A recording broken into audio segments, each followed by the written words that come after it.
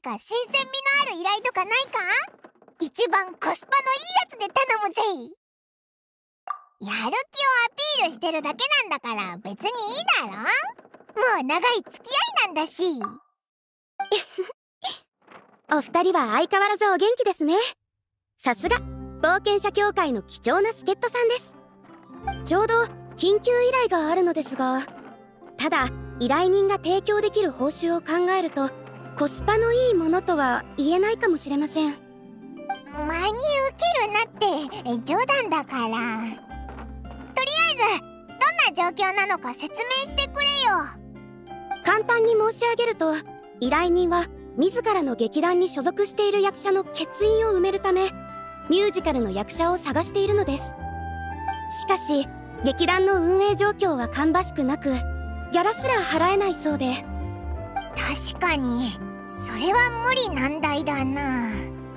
要するにそいつらは役者のボランティアを探してるってことだろ？はい。冒険者づてに多くの役者さんに依頼したのですが手を差し伸べてくださる方は一人もいらっしゃいませんでした。公演日はどんどん迫ってくるのに助っ人が見つからなければ延期せざるを得なくなるでしょう。そしてそれはさらなる問題を呼び寄せえっと事情は分かったぞ。どうする？旅人。何か考えはあるか？手伝ってやりたいけどオイラたちミュージカルなんかできないもんな。もし手伝いたいお気持ちがあるようでしたら依頼人はそちらですから直接話を聞いて差し上げてください。舞台に上がって役者になることはできなくても他に解決策はないかアイデアを出すくらいはできるかもしれませんよ。あいつだったのか。通りでしかめっ面をしてるわけだ。おそうだな。行こうぜ。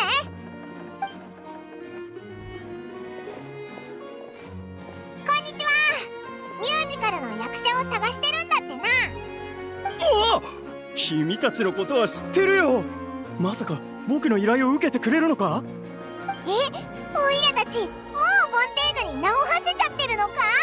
いひひでも残念だけどオイラたちはミュージカルなんてできないんだ。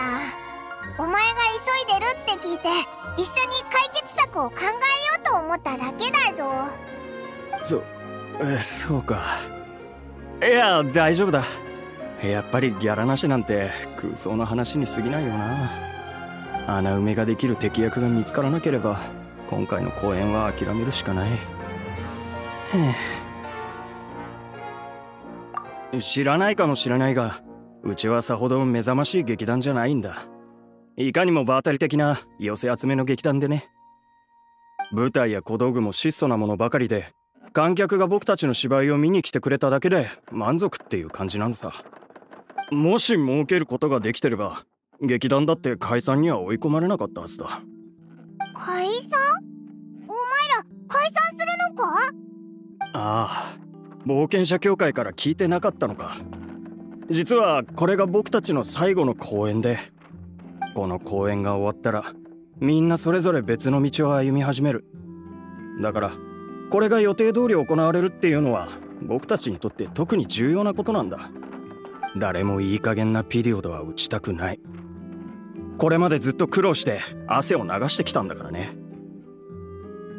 ああ。うちの主演女優は幼い頃から持病があって発作を起こすと全身の力が抜けてしまうんだ。最後の公演に出ることはもはやできっこない。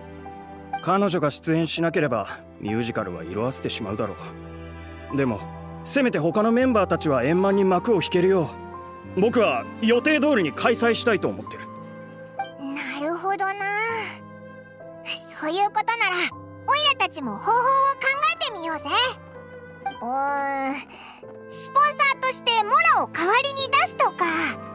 えっと旅人懐にまだ余裕はあるか？いやいやとんでもない。そんな大きな借りを作るわけには。それに絶対返せる保証もないし。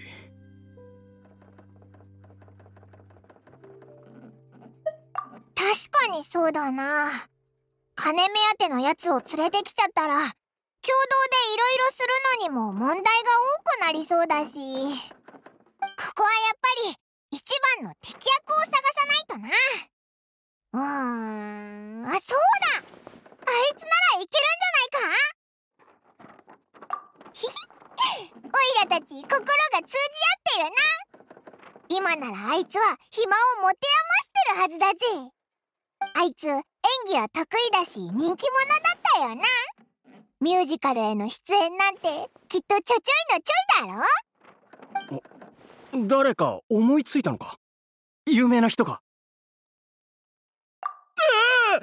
き君冗談だよな。冗談なんかじゃないぞ。あいつ実際に舞台に立ったことがあるかどうかは知らないけどオイラの勘がこう言ってるあいつなら絶対得意だってな。それは確かにその通りだがフリーナ様は昔数々の王道演劇に出演なさってたからね。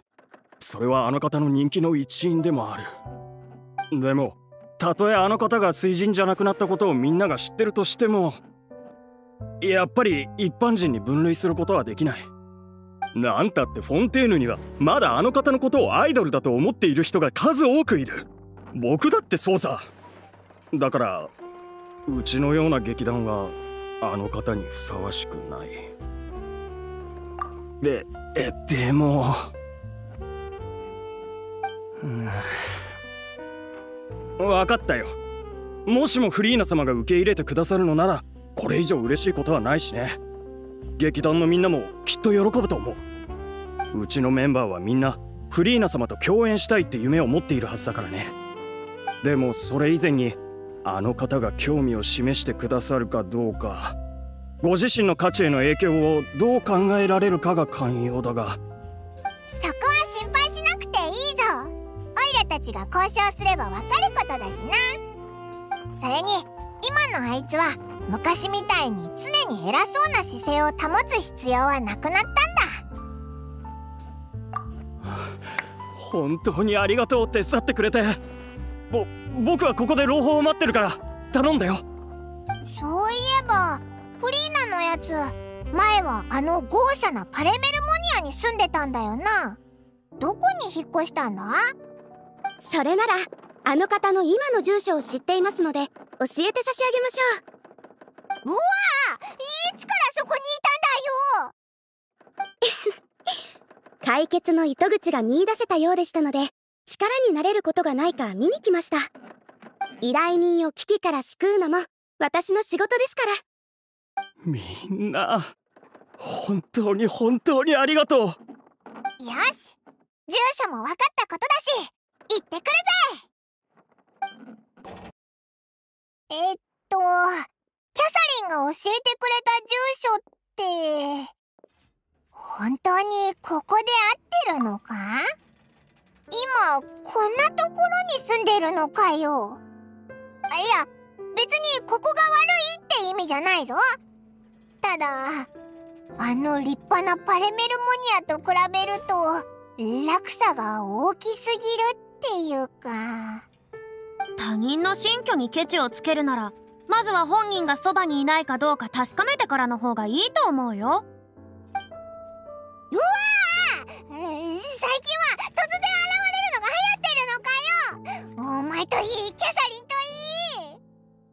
僕はただの買い出しだけど家にあったパスタを食べきってしまったから大袋をいくつか仕入れてきたんだ。前はもっといろんな食べ物の選択肢があったけど今はこういうシンプルで伝統的な食べ物もなかなか美味しいと思っているよ。いや全然。何種類かソースを用意してまずは1週間トマトソースで食べる。次の1週間はミートソースで食べるんだ。ごまかしてるようにしか聞こえないけど。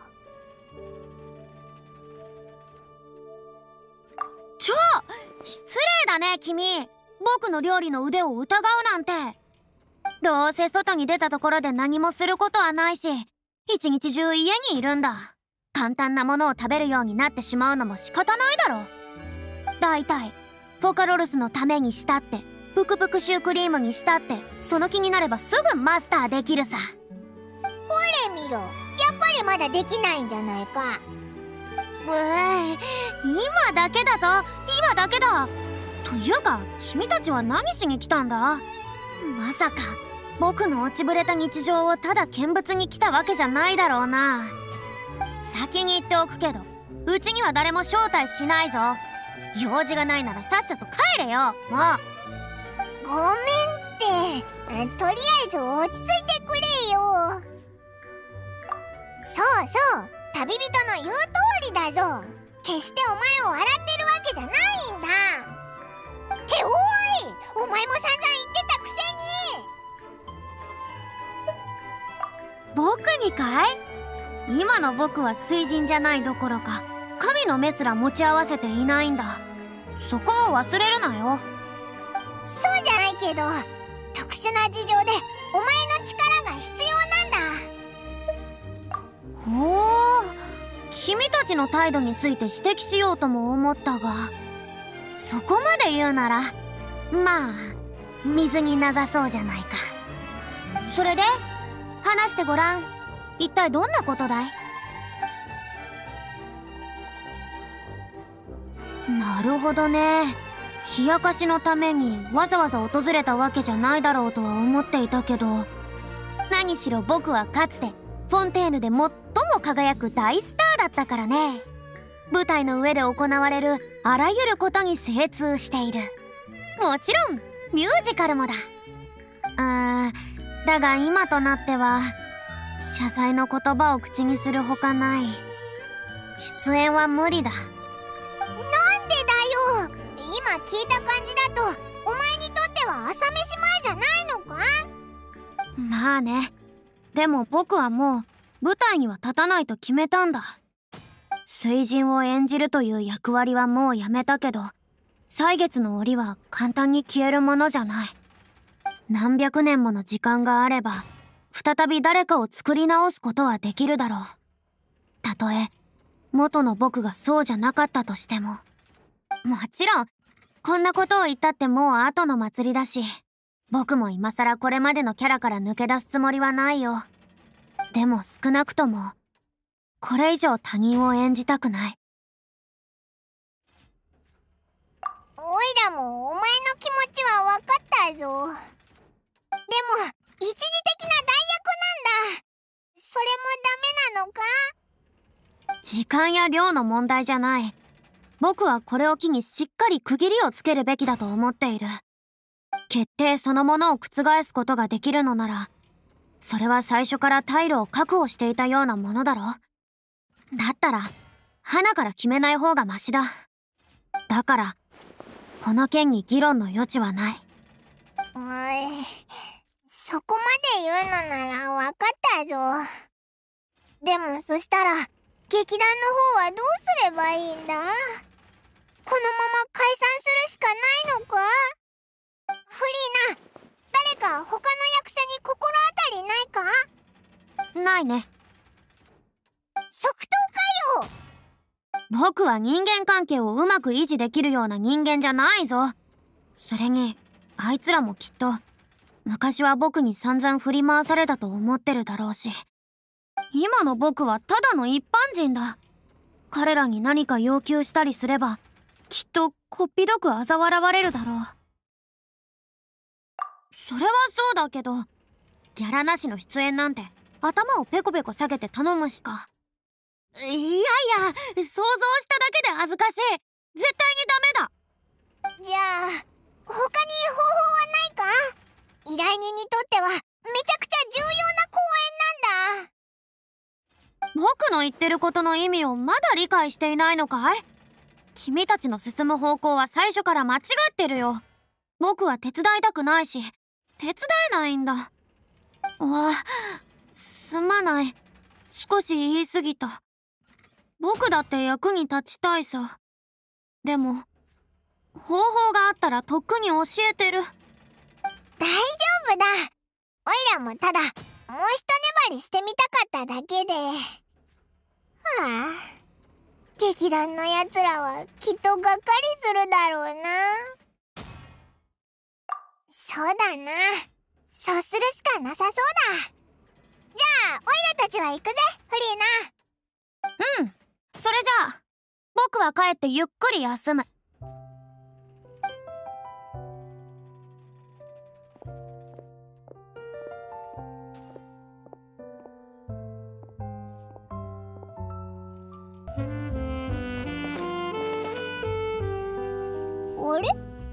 どうしたんだ？あいつら喧嘩してるのか？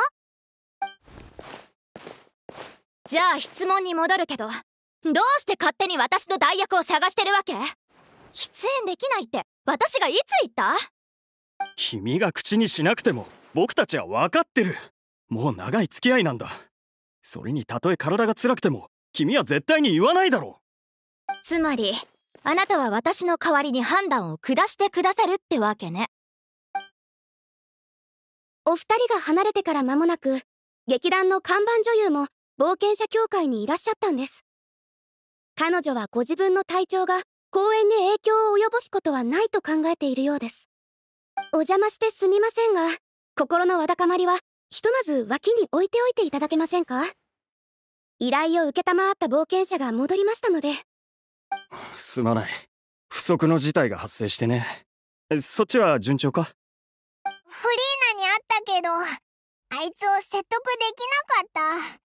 個人的な事情があってこの公演に参加したくないみたいなんだ。そうか。今の状況から見ればそれも悪い知らせじゃないかもしれないな。肝心のメインキャストがまた舞台に立てるようになったんだオリジナルメンバーで演じられるなら当然それが一番理想的だからね。言われてみれば確かにな。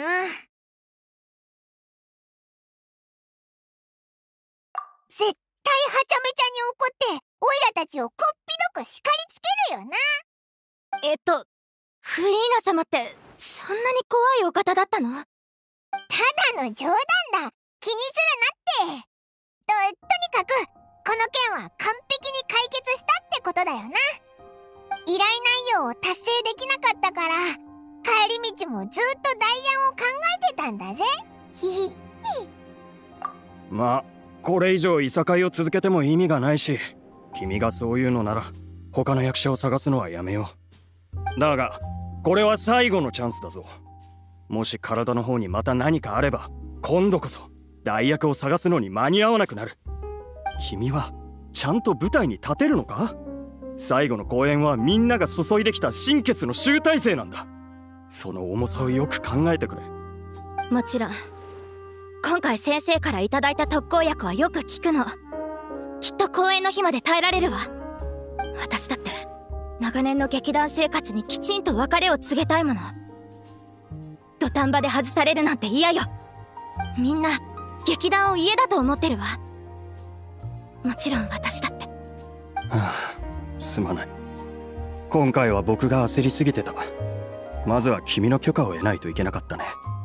ひひ仲直りできたならよかったぜ。公園はきっと大丈夫だ。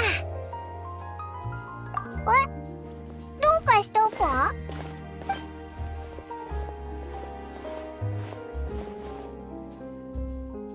え？いやぼ僕は買い忘れたものがあったのを思い出したからそれでたまたま通りかかっただけさ。わかったわかった。自分で歩くからもう引っ張るなよ。えー、っとこコ本？そのミラノ州元気だったかい？君たちの会話が偶然聞こえてしまってね。フリーナお前って休むって言ってなかったか？どうしてこんなとこにいるんだ？それはやっぱりこっちの状況がちょっぴり心配になったんだ。そう少しだけ。さっき君たちが僕を訪ねてくれた時僕は自分の主張を表明しようとやや焦ってしまい厳しめに返してしまった。事情もよく把握してなかったのに。あそれで後になってちょっと後ろめたい気持ちになったというか。すまなかったパイモン。ひひいいっていいって。全然気にしてなかったぞ。君ってやつは本当に一番答えにくい質問を選んでくるよね。あれだけ厳しく断っておきながらまだ気にしてたなんてすっごく決まりが悪いだろ？さらに最悪なことに捕まってしまうだなんて。でも何にせよ。問題はもう解決したように聞こえたけど。ええ。フリーナ様にお願いすると聞いて最初は本当にびっくりしましたよ。そんな僕たちなんかが本当に共演していいのかってね。そんな風に考える必要はないし僕をそんな風に呼ぶ必要もない。フリーナでいいよ。さっきも思ったけど劇団のことをそれほど大切に思っているならどうして解散しなければならないんだい？経済的な理由だけなら解決策はあるはずだ。例えばしばらく公演を中止してスポンサーを探すとか。みんな仲がいいなら力を合わせて困難を乗り越えればいいだろああ。やむを得ないことでなければ私たちだって誰もそんなことは望んでいませんから。団長がいなくなってからというもの。劇団は心の支えを失ったかのようになってしまいどんどん状況は悪化していきました。団長のアレリーは劇団の創設者であり連続少女失踪事件の被害者の一人でもあったんです。え？それも僕がこのお二人を知っていた理由です。君たちの努力のおかげでこの事件の真相は公になった。しかし残念ながら罪人がしかるべき罰を受けたとしても団長が戻ることはありません。彼女はフリーナ様。フリーナさんの忠実な観客でした。あなたが見せたパフォーマンスがきっかけでミュージカルの道を歩んでいたんです。彼女は居場所を失った人や自らの志を実現できずうつうつとしていた人々を説得し劇団に招き入れました。そして自ら台本を書き自ら出演し私たち一人一人を指導してくれました。あの頃は私たちの公演を好んで見てくれる人もたくさんいて劇団もどんどん栄えていきました。しかしその後事件が起きた。ええ。それからというもの劇団は完全に混乱状態に陥ってしまいました。僕たちは創作も経営も何一つできなかったんです。どんなに頑張っても苦労して築き上げたものは少しずつ崩れていくばかり。素敵な思い出がバラバラになっていくのを指をくわえて見ているくらいなら。ここで潔く終止符を打った方がいいのかもしれないと思いました。そうだったのか。まさか多くの被害者の中に才能にあふれた一般の芸術家がいたとは。最後の公演は君たちのカーテンコールであるだけでなく彼女への最後の贈り物でもあるのだろ？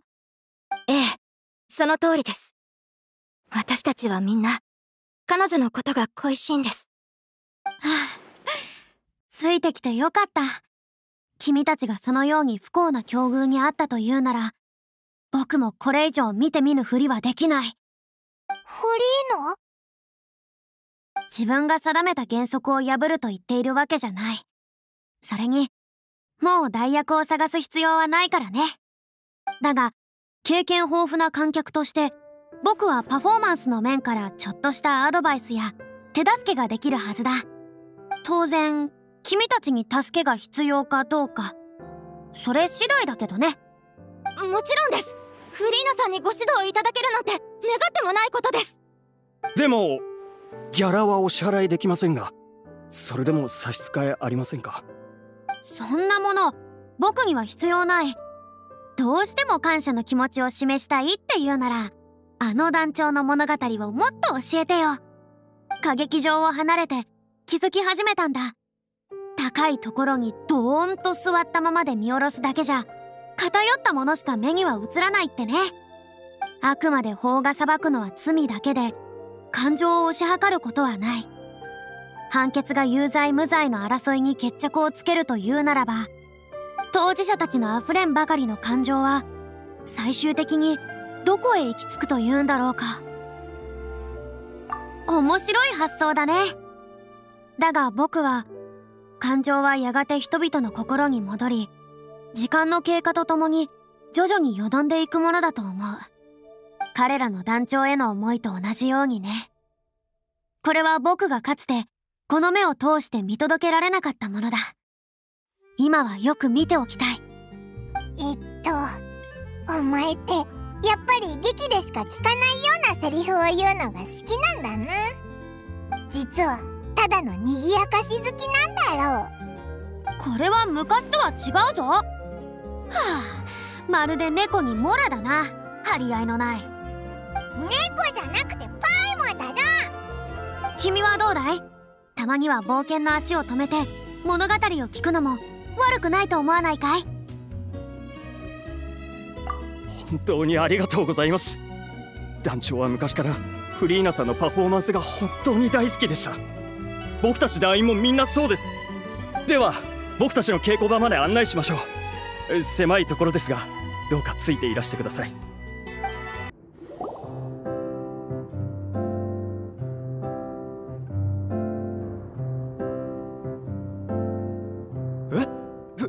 フフリーナ様？どうしてフリーナ様がここに？紹介するよ。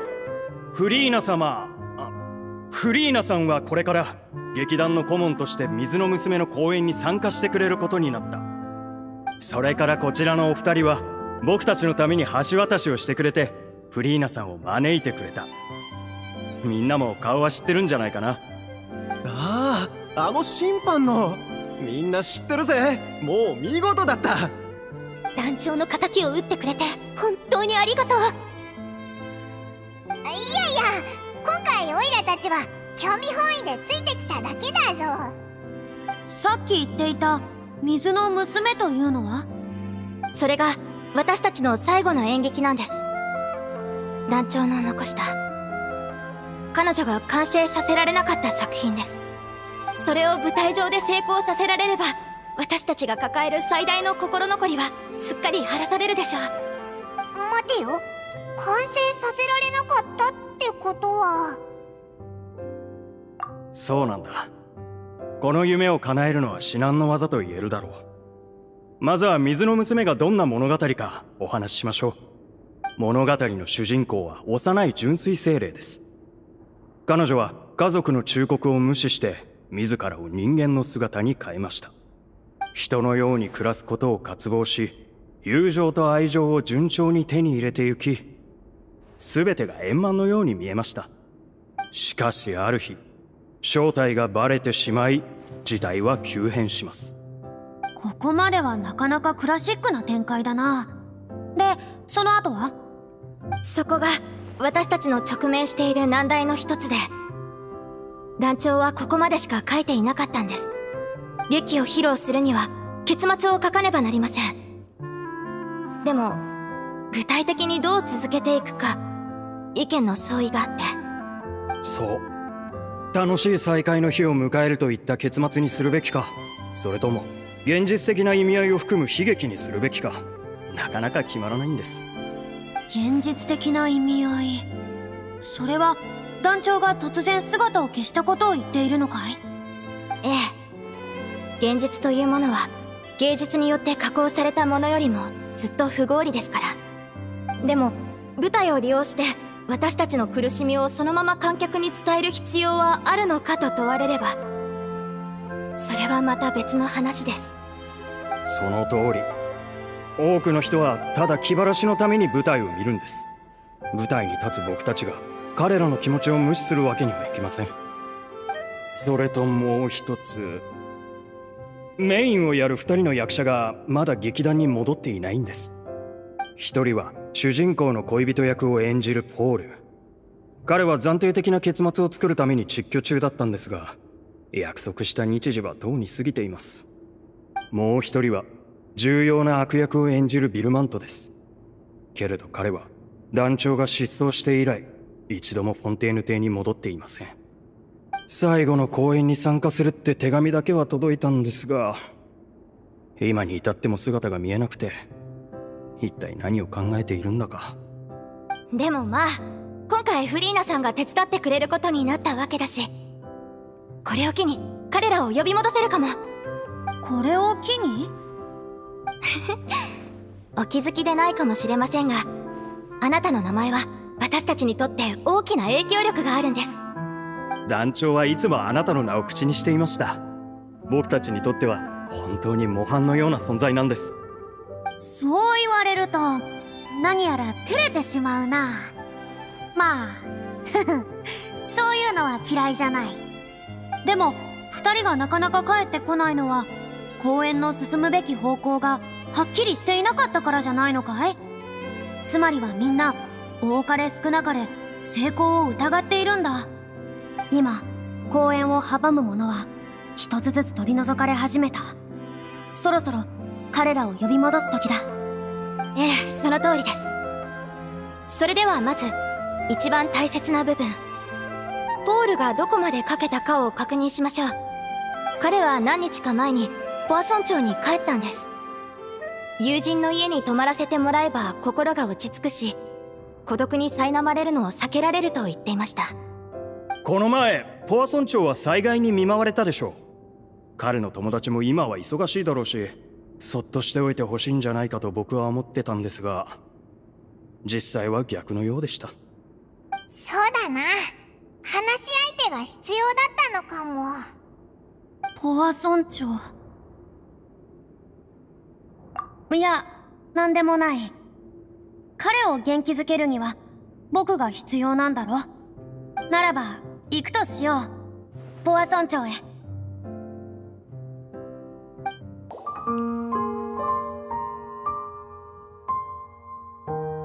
僕の記憶が正しければ彼はここにいるはずです。あのどちら様で？僕だ。台本はできたか？なんだってこんなところまで追いかけてきたんだ。まあまあそれは置いといて。まずは外に出てきてくれ。いい知らせがあるんだ。信じるかよ。しばらく待っててくれ。もう締めを書いてるところなんだ。完成したら出ていくよ。わかった。対策を期待してるぞ。どうやら予想通り原稿の締め切りは先延ばしになってしまったようだね。それでも結末はこの演劇の中でとても大切なところですから。彼が書き終えた台本には出演者全員が目を通します。みんなが賛成して初めて結末として採用されるんです。人づてに来てるって聞いたんだけどやっぱり人違いじゃなかったか。でもまさか本当にあんたたちだなんてね。それにフリーナまで。やっぱりこうなるのか。ポールを探してるみたいね。もしまだ時間がかかるんなら街を自由にブラブラしてていいよ。全部手配済みだから。ああお構いなく。僕たちはここで。それじゃあお言葉に甘えさせてもらうわね。街を見て回ってみるわ。お声掛けありがとう。ちょっ空気を読みなさいよね。最近はここの状況も少しは良くなってきているのか？徐々に回復してきてるってところかな。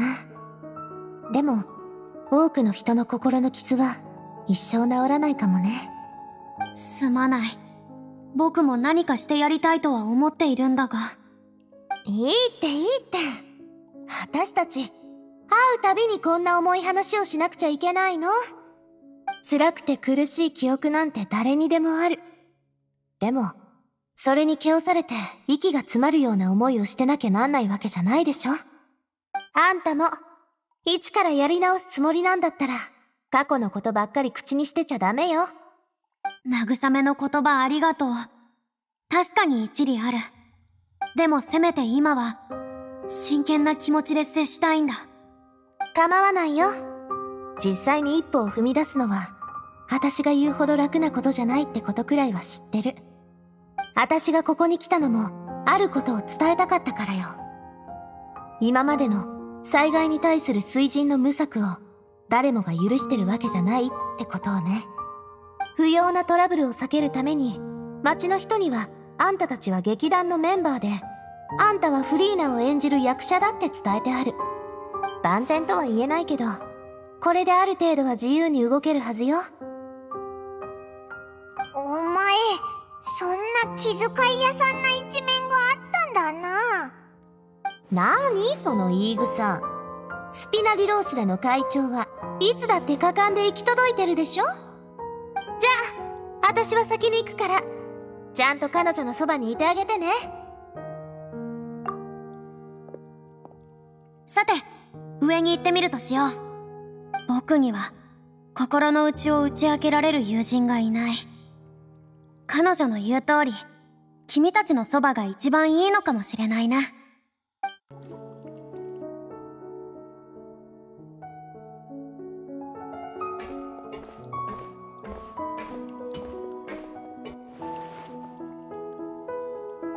ナビアの配慮にはとても感謝してる。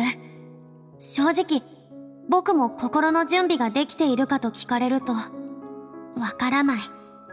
逃げることは往々にして一番手間のかからない選択肢だがそれは何の問題の解決にもならないしハードルを乗り越える手助けにもならない。通りでポワ村長の話になるとためらってるっぽかったんだな。ああ怖くないといえば嘘になる。それでも僕はもう一度ここに来るべきだと思った。前に言っただろ。この目で見届けられなかったものを見ておきたいんだ。もしここの人々が僕を許してくれるのならきっと僕は嬉しい。でももし彼らが暴言を吐いたとしても僕は全てを受け入れるつもりだよ。ああ僕も見られているのは感じている。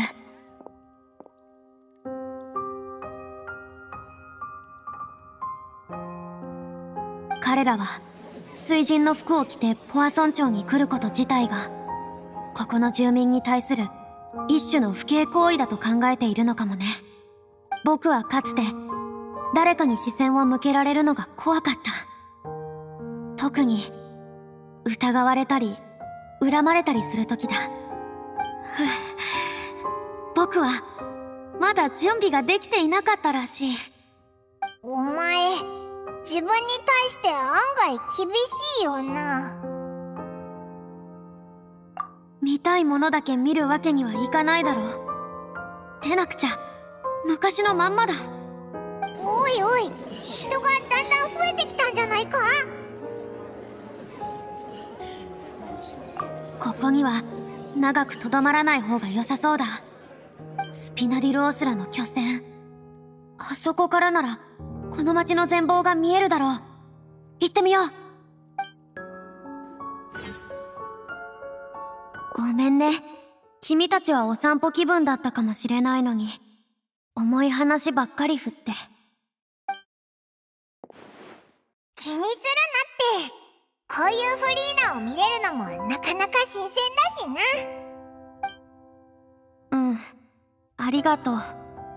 もう少しだけ付き合ってくれ君たちならうすうす気づいているかもしれないけど僕が過去の自分を受け入れようと思えなかったのは僕があまりにも長い間苦痛と孤独に耐えてきたからというだけじゃない。船のそばに行くと水が徐々に上がっていく光景がフラッシュバックするんだ。命は次々と水に溶けポアソン町の住民が大切にしてきた暮らしと思い出は野に帰した。神の庇護のもとにいるのだから厄災が訪れる前には強い存在が立ちはだかってくれるのだと人々はそう信じていた。僕も彼らがそう信じられるよう芝居をずっと続けていた。でも本当に水が上がってきた時水神は何もしてあげられなかったんだ。そんなこと言うなよ。あの時はお前だって自分の役目があっただろ？真実を守るため僕はずっと同じことを繰り返してきた。でもそうすればそうするほど僕は苦しくなり孤独になっていったんだ。次第に真実以外の何もかもを失っていった。僕は完全に失敗して自分の場所に座ったまま泣き崩れることになるのが怖かったんだ。幸い君たちや多くの英雄の助けがあったから最悪の結末は避けることができたけどね。誰もが責任を背負いそして僕は自由を取り戻した。よくよく考えてみたら自由とは必要とされないことを意味するわけだ。だって僕はもう何の役にも立たないんだから。お前がそんなことを考えてるなんて思わなかったぞ。報酬？はあ。うん。そうだね。相談相手ができるだなんて。昔は想像もできなかったよ。重大な秘密を守る必要があったからね他人が本当の僕に気づきやしないかとても怖かった。それなら舞台上のフリーナを信じればいい。それが民の信頼すべき姿だ。だからこそ僕は日々において好奇心や内から発する感情を人に感づかれてはならなかった。僕がこの前人間関係をうまく維持できないと言ったわけがこれで分かっただろ？そうだったのか。おいらはてっきりお前の性格が嫌われやすいだけだと思ってたぞ。今日はやけに横やりを入れてくるな。君のそういう話し方こそ嫌われるんじゃないのか？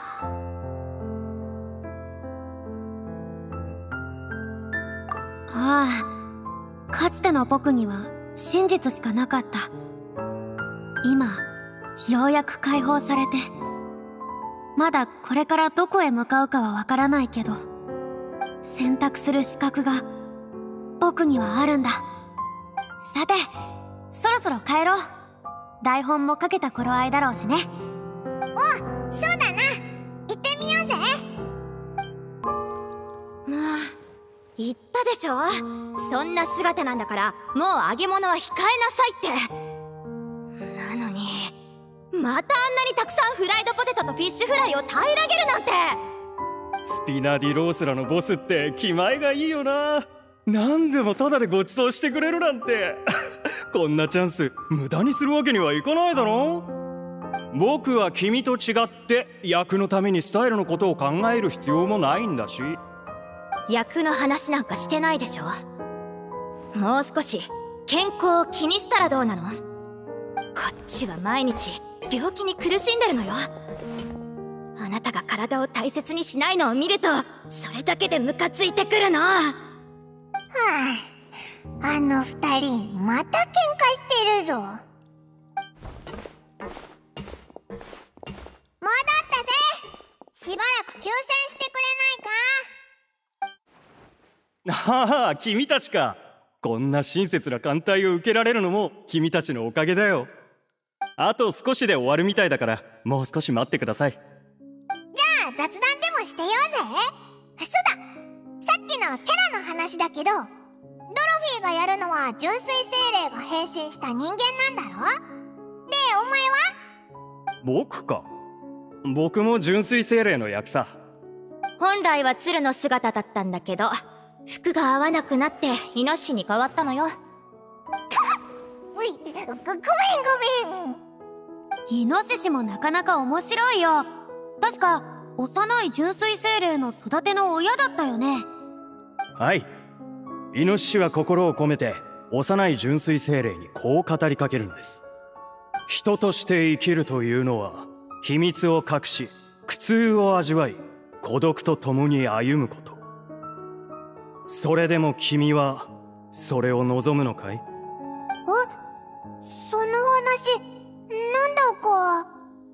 これはシナリオの核心をついたセリフでまさに団長の人生そのものですよ。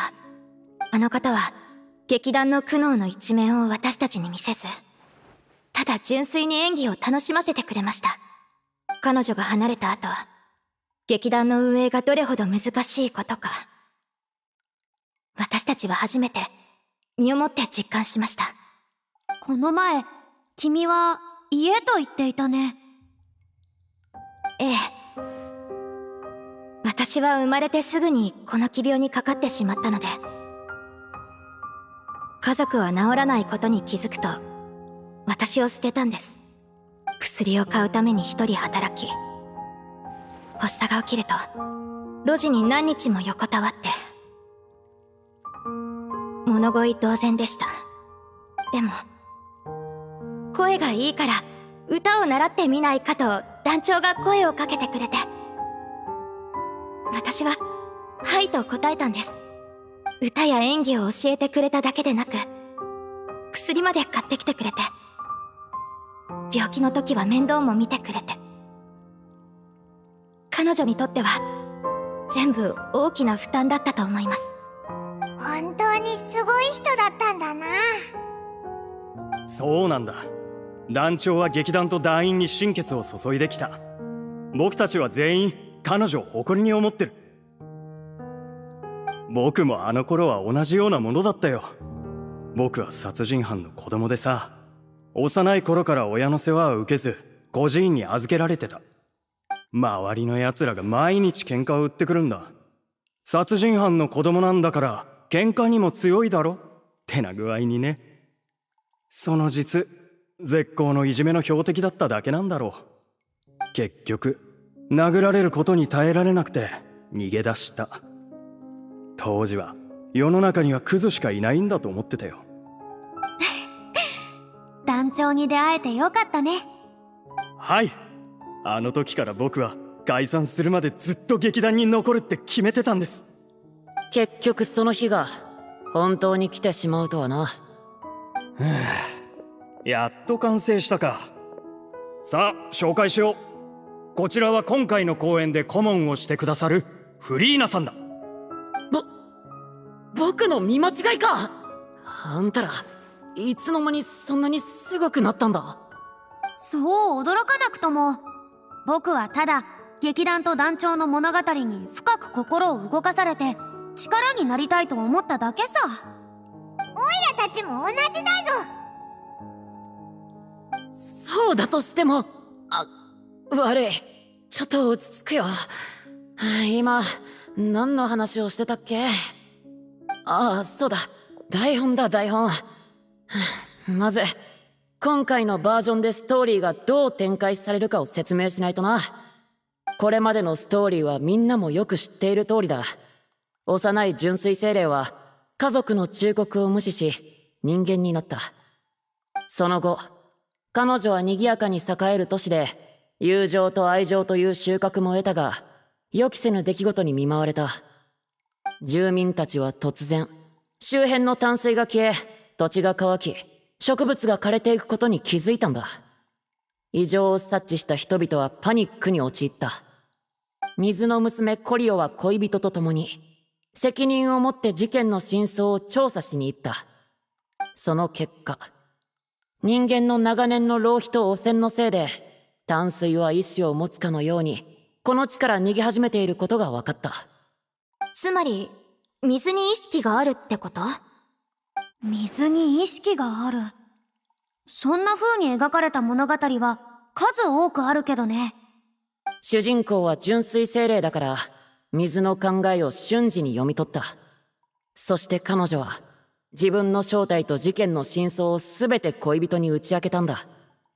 恋人は彼女を受け入れ淡水を元の場所に戻す方法を共に探そうとした。しかし同時にそれを盗み聞きしていた奴がいた。そして水の娘は淡水を奪った罪人とみなされジレンマに陥るんだ。それから？それから水の娘は身を挺して自らを犠牲に彼女の恋人と全人類を救ったのだった。え？コリオは人間から悪いやつだって思われてるんだろ？なのにどうしてまだ人間を救おうとするんだよ？彼女は主に恋人と彼女の味方になってくれた人々を救いたかったんだろう。恋人への死亡を人類への友愛に昇華することもまた物語の主人公としてのコリオの偉大さであるということか私が気になるのは違うところなんだけど水の娘の主人公は団長を象徴するっていうのは分かってるわよね。彼女は最後まで英雄になれなかったのよ。団長を記念するなら、当然、本当の結末を記録するべきでしょ水の娘は憎しみによって死に至り、彼女を深く愛した者は、真実を解き明かすことをやめ、人類は滅亡する。ああしかし、その結末は残酷すぎる。それに、観客に対しても少し無責任だろう。ああ。アレリー団長の遭遇と同じで、そんなものは無価値だし、意味がわからなさすぎる。事件が起きた日、団長は突然僕たち全員に、まずはフォンテーヌ邸を離れて、街の外で彼女を待つように言ったんだ。約束の場所でずっと待っていたけど、ついに団長は来なかった。そして僕たちが帰った時、彼女はすでに行方不明になっていたんだ。警察隊員も僕たちも彼女を見つけることはできず、結局、様々な手がかりは彼女が連続少女失踪事件に巻き込まれたことを示しただけだった。団長はこの世で一番いい人だったのに、全く関係ない不可解な実験の犠牲者になってしまうなんて。うでも、君たちに街の外に隠れろと事前に知らせたのなら、彼女はきっと何かに気づいたんだろ僕はその後、ずっと調べてきたけど、手がかりはほとんどなかった。ビルマントなら何か知ってるかもしれないけど、あいつ、全然教えてくれないんだ。ビルマントというと、悪役を演じる役者だったね。ええ。悲しみから抜け出すのが一番難しいのは彼だと思います。悲しみ？あいつはただ罪悪感を抱いてるだけだよ。悲しみといえば、僕に勝る者はいない。なぜなら、劇の中でも外でも、僕はアレリーを心から愛していたんだから。そ、そうだったの？初耳だけど。そろそろ頃合いかなと思ったんだよ。もしお互いにまだ抱えた秘密があるんなら、合意に達するのなんか無理だろう。僕は昔、アレリーに愛を告げた。ほぼ即答で拒絶されたけどね。劇団にいるみんなは弟や妹のような存在だから、男女の情なんて一切考えたことがなかった。と彼女は言った。アレリーならそう言うだろうなと予想してたから、僕は平気だと返した。ずっと、劇団で彼女を待っていると伝えたんだ。あいつが劇団のことで悩む必要がなくなり、ここにいる全員が居場所を見つける。その日まで。その時が来れば、アレリーも僕のことを考え直せるだろう。でも結局、そんな日が訪れることはなかった。ポール。だから僕の台本では、アレリーは最高の結末を迎えなきゃいけないんだよ。誰が反対したって無駄だぞ。はあ、どうやらあなたとウィルマントの間に起こったことについては、直接会って聞くしかなさそうね。実はこれまで、結末に対する意見の相違が一番大きかったのも二人なのよ。どちらかが相手を説得しないといけないわ。もうここまで来たらそいつを探すしかないよな君真実に直面する準備はできたかい？正直ちょっと怖いけど最後の公演のためなら何だってやるさフリーノ様もしかしてあんたは僕の気持ちが理解できるのか？ああもちろんささあ出発しようじゃないか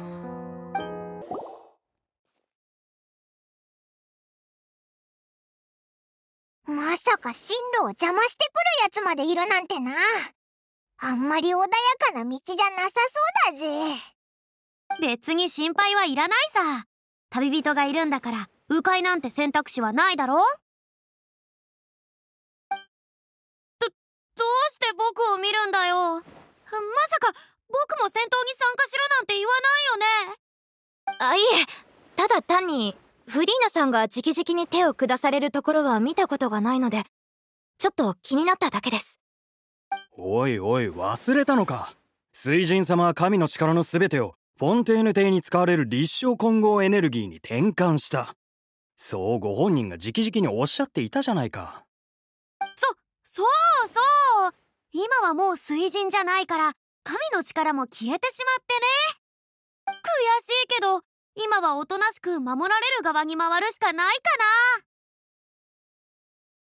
別に自慢するようなことでもないのにめちゃくちゃ誇らしげだな。なんかムカっとくるぜ。ちょっと！せっかくごまかせそうだったのにわ、悪かった。調子に乗ってたよ。どうか助けてくれ。残念だわ。目の保養になりそうだったのに。悪いね。頼むよ。安心しろ。パパッと片付けてやるぜ。ビルマントいるか？ん？お前ら。ってなんでフリーナ様がここに？私が説明するわ。もうあなたで最後だしね。つまり団長の件の真相が分かればみんなが納得する結末をかける。そう考えてるわけか？だが水の娘が何よりも重要だからこそ俺は真相を公演後まで取っておきたい。じゃなきゃもう一緒に舞台に上がれないかもしれないしな。それは逃げてるだけだろビルマントそれともまさかアレリーの件は君とも関係してるのか？言いたくない。いいかビルマント僕はかつてアレリーに恋心を抱いていたことを恥ずかしく思っていた。だから誰にも言わなかったんだ。それでもこうして君たちに打ち明けたのは全てに向き合う覚悟ができたからだ。もちろん全てを捧げる覚悟もね。水の娘はアレリーの感情なしには完成しない。だからお前は気が利かないってみんなに言われるんだ。みんなも知っての通りチケットの販売に頼らず観客からの寄付金だけで劇団を運営するなんてそんなのは土台無理な話だ。みんな公演がない時はあちこちでバイトをしていたがそれでも運営状況は芳しくなかった。そんなある日公演後にとある商人から連絡をもらってな。劇団の公演時に彼らのドリンクを提供するならスポンサーになってくれるって話だった。互いに利のある話だと思ったし俺は団長と相談もせずに引き受けた。ところが商人から届いたドリンクはロッシって呼ばれるもんだった。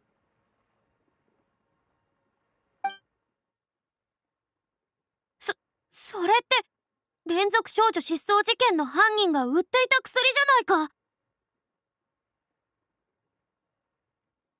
それが何箱も届いて腰を抜かしたよ。団長に説明したら団長もすごく驚いてた。だが団長は俺を責めなかったそれどころかその商人に連絡してその件を取り消してもらおうと交渉しに行ってくれたんだ。商人は俺たちが約束を破ってきた。当然ながらそんなもの払えるわけもなかった。そそれで？俺は自分でこの件を解決しようとしたが団長に止められた。これは劇団のトラブルであって一人だけの責任じゃないってな。だがその後相手はますます手に負えなくなった。そしてある日団長は先に帰るよう俺たちをせかした。きっと何かあったんだと。その時やっと気づいたよ。俺は失敗した。それをお前らに言うのが怖かった。団長が失踪してなおさら言い出せなくなった。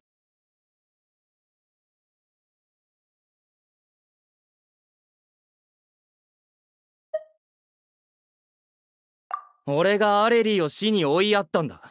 どうだ？これで満足か？ちょっとそんなこと言わないでよ。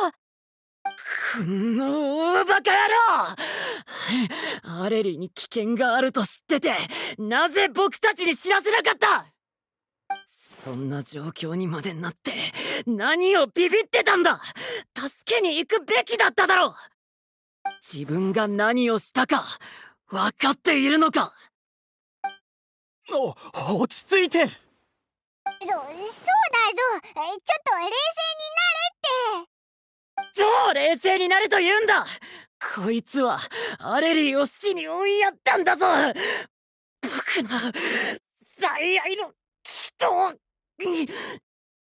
何が公園のためだ。大口叩きやがって。結局は責任を負うのが怖かっただけだろうが悪かった。劇団のみんなにはずっと謝りたかった。だが団長を失った今そんな謝罪に意味なんてあるか。俺はただの臆病者さ。取り返しのつかない間違いを犯しちまった。殴るなり殺すなり勝手にしてくれ。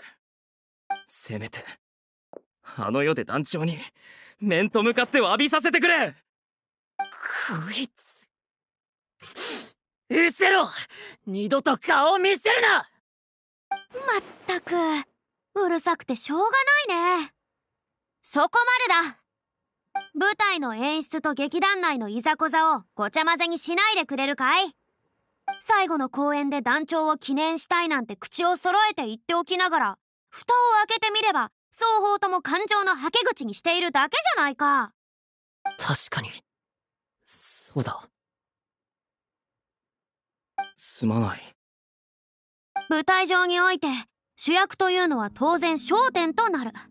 それと同じように君たちも団長を劇団の中心として扱ってきた。しかし日々において彼女が望んでいたのは焦点になることなんかじゃなかったのさ。僕は感じるんだよ。彼女の君たちに対する愛。そして劇団に対する愛をね。弟や妹たちに温かい家庭を作り荒波から守ろうと努力していた。それこそが真に記念すべきことさ。彼女はとっくに君たちの英雄なんじゃないのかい？その通りです。よく見極めることだ。自らを顧みてこの争いが意味のあるものなのかもう一度考えるといい。糸い合っていてどうしようもない対立があるそんなことにとらわれるならばいっそ最後の公演なんかやめればいい。そうして直接解散すればいいじゃないか。それをしないのは君たちがアレリー団長や彼女が直々に築いたこの家を捨てられないからさ。どうしたんだい？何もおかしなことは言っていないよ。いえすみません。なんだか一瞬。団長がここにいるような気がしたんです。団長がこの状況を見たらきっと同じように叱っていたはず。そうなのか？おいらてっきり優しい人なんだと思ってたぜ。もちろん優しかったわよ。でも外側の厳しさには内側の優しさが現れるものなの。彼女は数えきれないほどの美点を持った人だったわ我に返った気がするよ。本当にすまない。ちゃんと謝ろうと思ってたのに。自暴自棄になるつもりじゃなかったんだ。まあまあそういう話は公演が終わってからにしよう。それで結末はどうするんだ？それはもちろん。まずは舞台から一時的に降りて感情の激流の中で何を見落としたか振り返るべきだよ物語の結末についてはアレリー団長に焦点を戻すんだ。彼女こそが舞台における唯一の主役なんだからね。それって。そう。かつて君たちは水中で連続少女失踪事件における被害者たちの遺留品を手に入れたね。もしアレリー団長が残したものを見られれば彼女の当時の気持ちがわかるかもしれないそんなものがあったなんて。団長の本当の気持ちを水の娘という物語の結末にするならみんな納得できるだろええ。ではお願いします。さあ僕たちはパレメルモニアに行こう。君たちは稽古場で良い知らせを待っているといい。連続少女失踪事件の被害者の遺留品を調べたいんですか？もうだいぶ昔の事件ですが。まあ、君たちは証拠を提出してくださった張本人ですし、特に報告はいらないでしょう。手続きが必要ですので、少々お待ちください。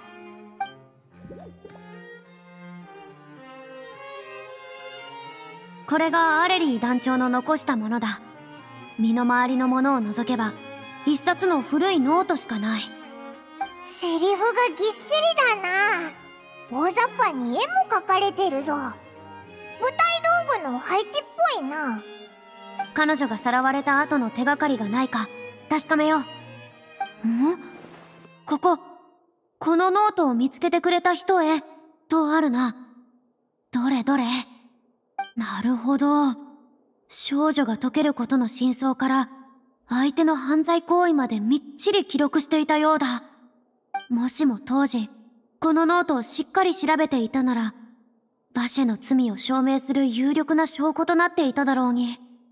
バシェって本当に数えきれないほどの罪を犯したんだな。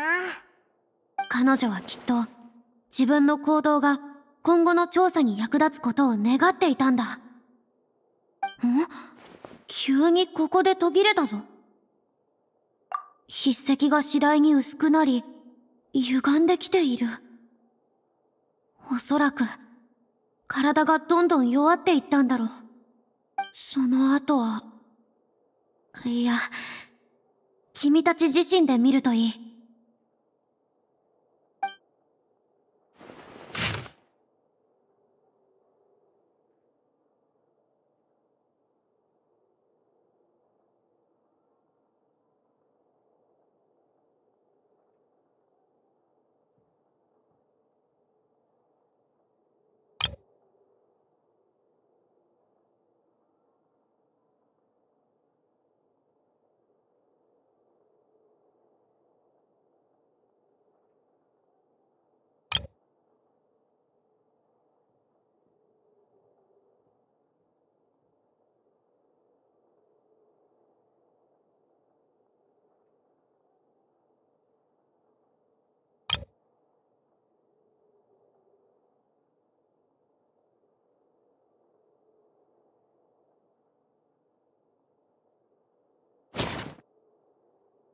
すごく怖かっただろうな。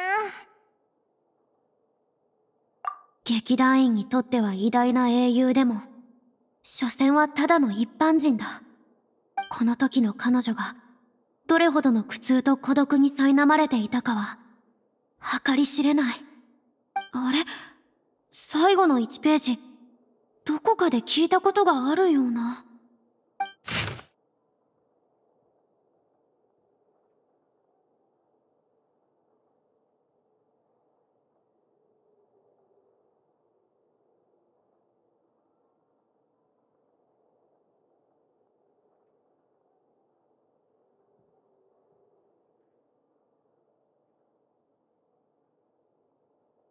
人として生きるというのは、秘密を隠し、苦痛を味わい、孤独と共に歩むこと。それでも君は、それを望むの？それって、水の娘に出てくる一番大事なセリフだよな。私は、あの子たちのお姉ちゃんだから。うーたとえ静かに死を待つのみという状況下にあっても、後悔はなかったようだね。これこそ、団員たちが最も見たかった答えだろう。彼らの信頼、警護、そして情熱は、これ以上ないほど正しい人物に捧げられていたようだ。行こう。アレリー団長の最後の考えを、彼らにも伝えないと。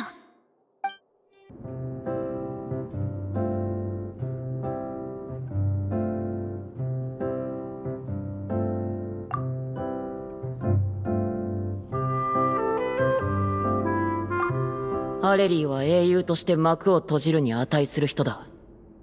形式はどうあれ彼女のしたことを観客に伝えることにこそ意味があると思う。燃え尽きる最後の瞬間まで手がかりを残そうとしたのか。たとえ自分を犠牲にしてもより多くの人を守ろうとしたのね。なら水の娘がどの道を選ぶかは言うまでもないわね。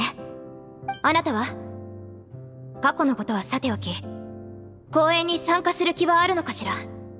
謝罪の気持ちを込めて最高の舞台を彼女に捧げよう。俺を許す必要はない。俺の気持ちもどうだっていい。これはアレリー団長の終幕なのだから。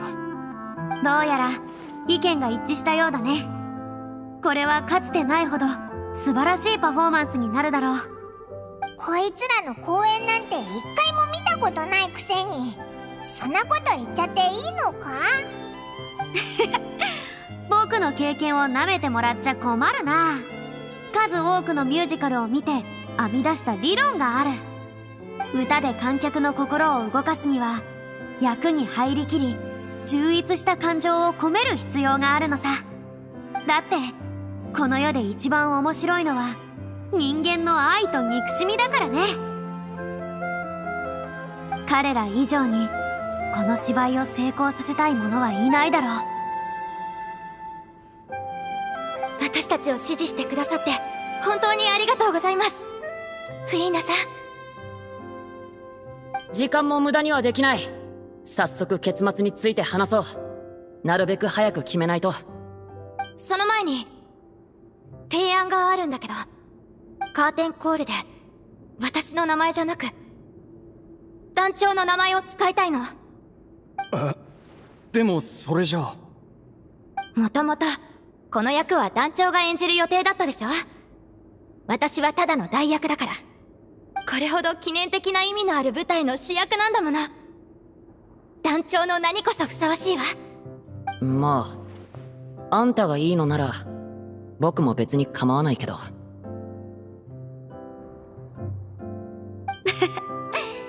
これこそ劇団のあるべき雰囲気じゃないか。では芝居を完璧に仕上げることは君たちに任せたよ。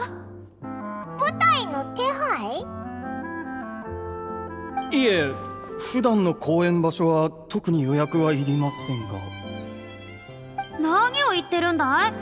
普通の舞台なんかじゃダメに決まっているだろもちろんエピクレシス歌劇場で演じるのさおお待ちを。いいやいやいくらなんでも高価すぎる。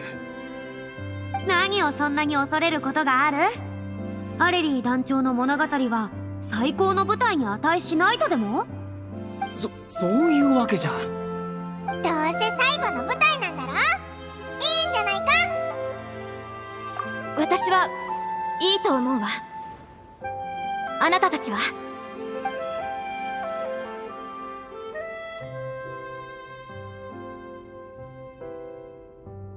返事がないってことはいいってことね。こんな機会をいただけるなんてまるで夢みたいです。本当にありがとうございます。どうか失望させないでおくれよ。もし失敗したら僕も一緒に恥をかくことになる。さあヌビレットを探しに行こう。安心してどこにいるか分かってる。やっぱりここにいた。ひとときの休憩だ。久しぶりだなフリーナ殿。それから旅人とパイモンも。今日は何か用でも。歌劇場を借りたいんだ。実は。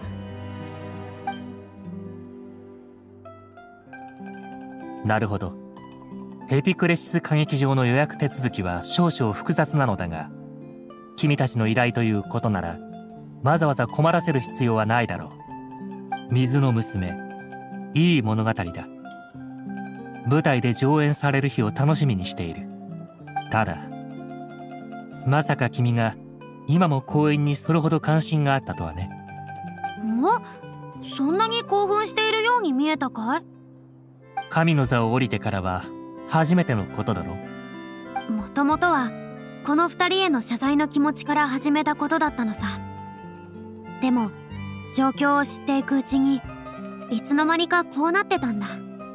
今まで僕たちが法廷でやっていたことは事件への単なる意見表明でしかなかった。その背後にあったはずの劇的なストーリーなんて知らなかったんだ。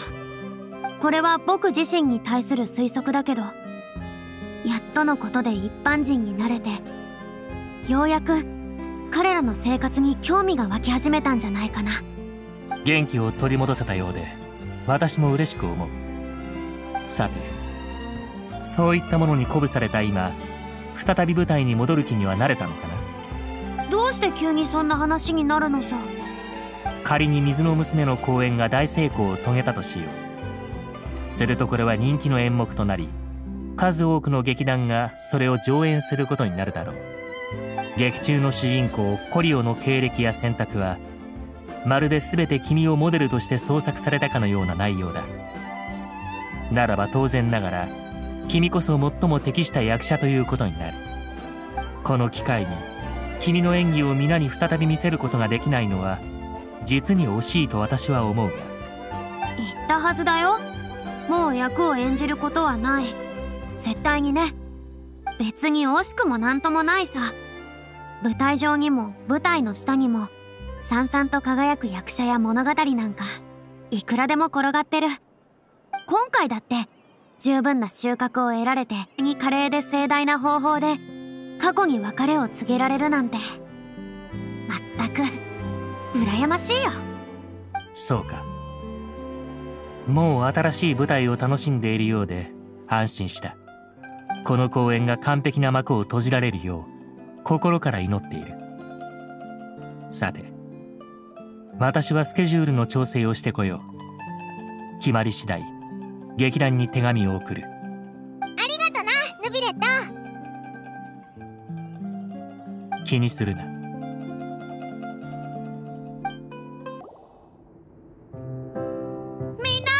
交渉がうまくいったよ。僕の理性と情熱に満ちた説得のもとヌビレットはようやくこの特別な公演のを提供することを約束してくれたのさ。このチャンスを勝ち取るのは実に大変だったが僕たちはついに華々しいステージに必要な全ての要素を手に入れた。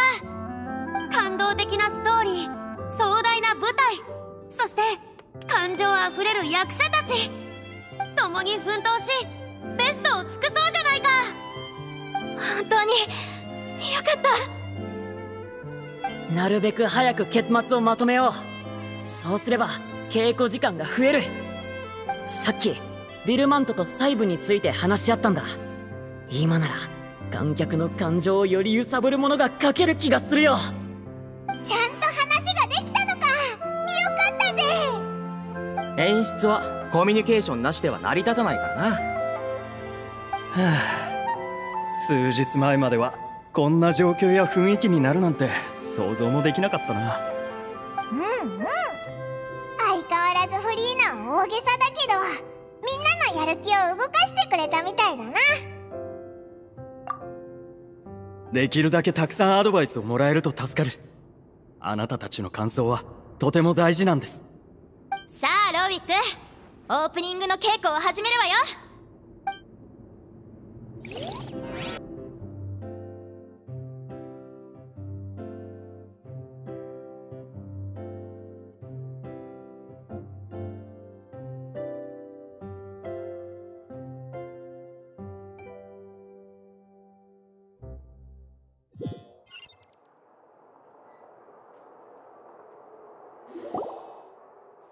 呪われたコリオは生命の水を全て持ち去ったのだ。彼女は嘘つきだ。罪人だ。これは彼女とは関係ない。愚昧で亡霊なものが一体どうして水の調和を取り戻せるだろうか。こいつは利用価値がある。コリオはきっとこいつのために姿を現すだろう。さあ遠く羽ばたけ二度と戻ってくれるなよ。水の娘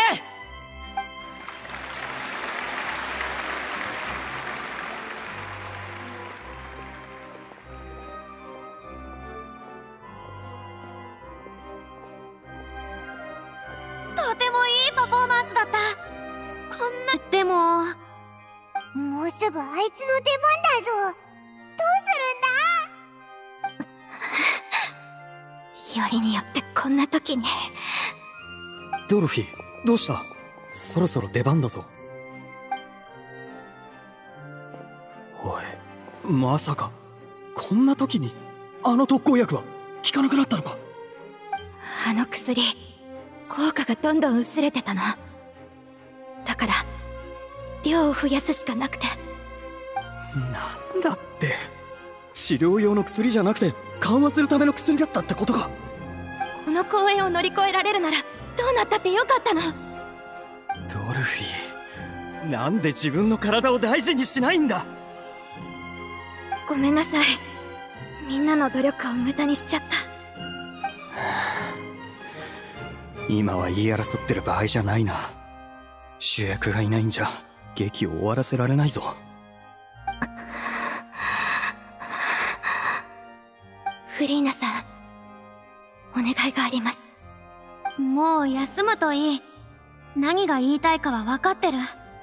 君君はもう舞台に上がらなくていいんだな。あ僕ですか？はい。まだ一つセリフが残ってますがもうメインの出番は終わりました。あとは声が似てる団員に任せても問題ないと思います。なら彼女を治療に連れて行ってやってくれ。最後のシーンは僕が歌おうまったく。結局こんなことになるなんて。ありがとうございます。フリーナさん。原作を破らせてしまってごめんなさい。今さらそんなことを言ってもしょうがないさ。元はといえば僕が自分から首を突っ込んだんだしね。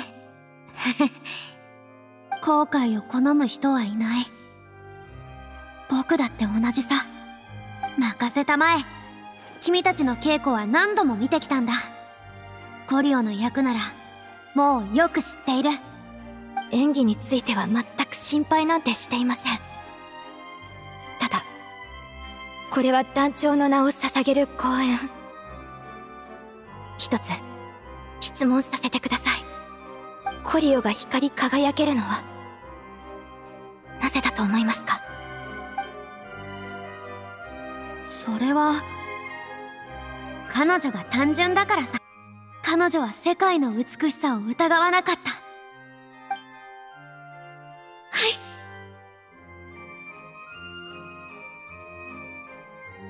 アレリー団長の名をお任せしますね。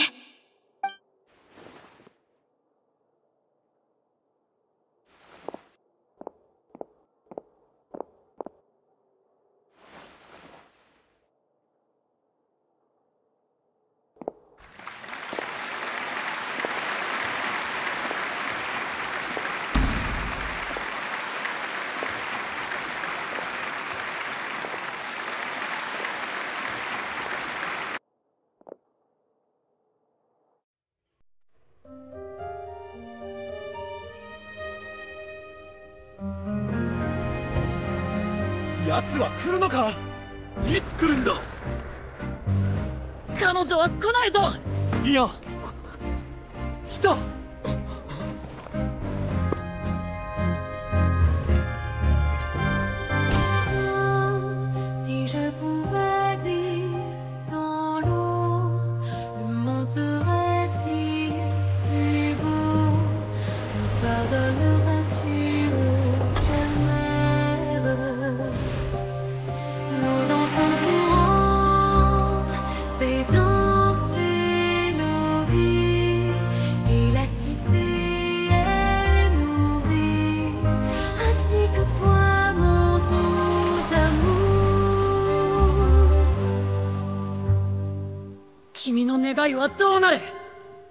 私の願い。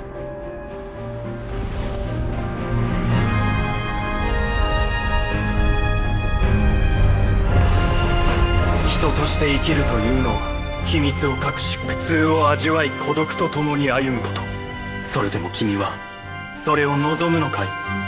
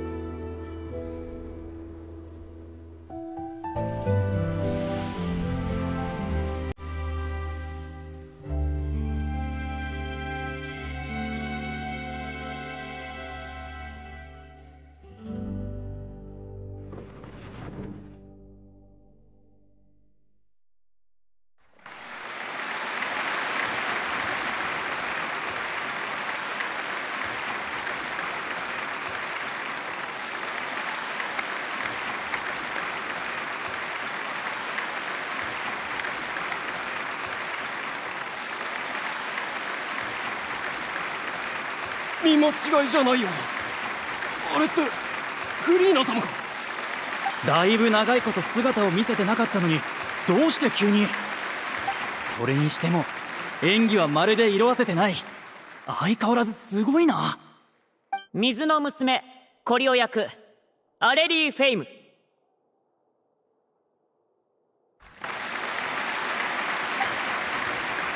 名前が違うぞどうなってんだわからない。まさかただのそっくりさんか？だいぶ長いこと姿を消してたし僕の名前も使ってないから大勢にバレるってことはないだろう。けど仕方ないこととはいえせっかく決めた原則を破ってしまったのは惜しいな。まあこうやってまた舞台に上がった感覚は結構楽しかったけど。最後にスペシャルサンクスとして本公演のステージの手配をはじめとする演出顧問を務めてくださったフリーナさんに感謝を。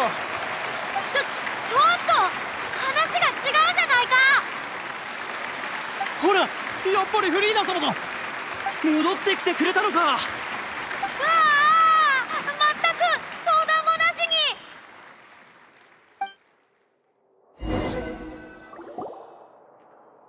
まあまあそう怒らずこれはみんなで話し合って決めたんだ。フリーナ様のやってくれたことをなしにしちゃいけないって。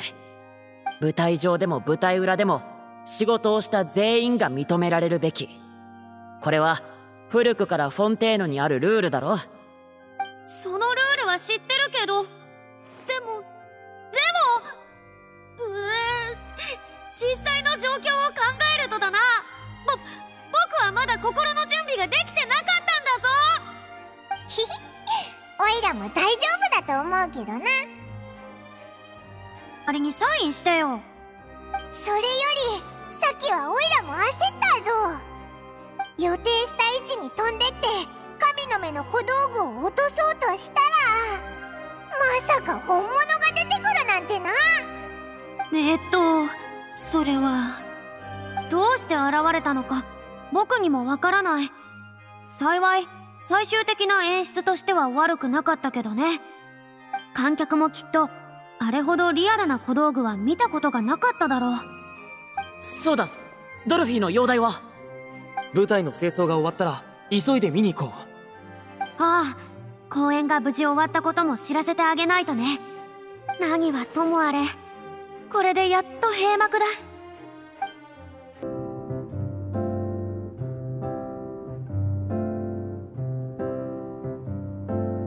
ああお疲れ様。本来の薬を飲んだら病状も安定したよ。でも今までの感じからするとあと23日は休む必要があるだろう。公演は順調だった？お客さんたちの反応はどうだった？安心しろ。すごく順調だったぜ。アドリブとかもうまくいったしでもスチームバード新聞で見れると思うぞよかった。結局舞台に残れなくてごめんなさい。最初から強がらなければよかった。いいんだ。幕を閉じる時に彼らが言っていたように仕事をした者は全員が認められるべきだよ。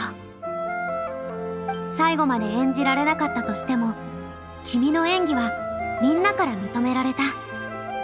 当然君も記念公演の大事な一員さ。はい。いろいろありましたがやっと終わりました。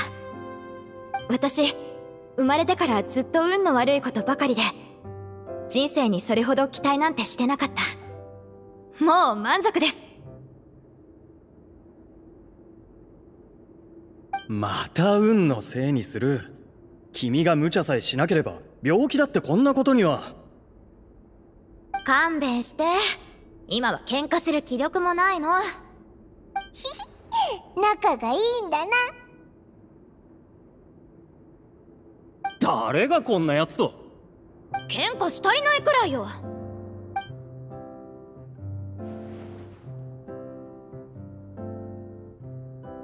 これからどうするんだい？公演は成功したし君たちの名はすぐにフォンテーヌに広がるだろう。解散する必要はないと思うけど。それに今回の反響を利用して大きな劇団に水の娘の上演許可を与えれば経営状況も大きく改善されるだろう。いえやっぱり解散します。ああ約束だしな。俺はこれ以上お前たちと一緒にいるわけにはいかない。縁があったらまた。おいそんなに急ぐなよ。もう。芝居を続けるよ。他の劇団に行くつもりだ。フリーナさんの演技を見てなぜアレリーがあれほどミュージカルに没頭してたか分かった気がするんだ。あなたらしいわ。私も歌い続けたいでも体がね。今さら分かったか、はあ、君はまず体を治してからだ。フリーナさんはこれからどうされるんですか？実際消息を絶とうと考えたところで指導を求めに来る人で溢れるだろうね。君たちのスペシャルサンクスとやらのおかげでね。すみませんいいさ。謝る必要はない。僕が言いたいのはつまり今回舞台に戻るのもそれほど嫌じゃないって思えたってことさ。もしかしたらヌビレットが言った通りコリオというキャラは僕にぴったりなのかもね。もう他人は演じたくない。だけど自分を表現したい気持ちはある。きっとこれが僕の新たな舞台なんだろう。ああ僕はかつて仮面をかぶった役者で。でもそれは真実を隠したいだけだった。これからは人と人の間にあるリアルな物語をもっと感じたいと思う。彼らがどのように咲きどのように枯れそしてどんな物語を紡ぎ永遠に歌われるのか。君たちの団長もきっとこういうことに魅了されていたんだろう。もう抵抗感はなくなったみたいだな。それじゃあいろんなところを回ってみろよ。この世界はすっごく面白いんだぞ。